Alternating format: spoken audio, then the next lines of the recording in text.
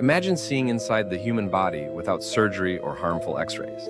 That's the power of magnetic resonance imaging, or MRI. Developed in the 1970s, MRI uses strong magnetic fields and radio waves to create highly detailed images of organs, tissues, and even the brain's complex structure.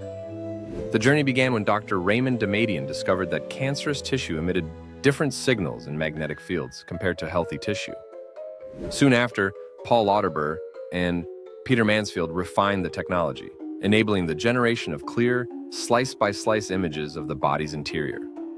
Unlike CT scans or X-rays, MRI doesn't use ionizing radiation, making it safer for repeated use, especially in brain and spinal imaging. MRI revolutionized diagnosis by allowing doctors to detect tumors, strokes, and neurological disorders with remarkable precision.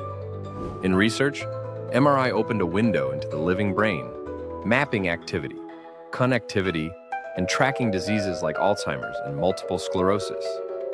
Today, MRI stands as a cornerstone of modern medicine, transforming how we see and heal the human body with non-invasive, detailed imaging.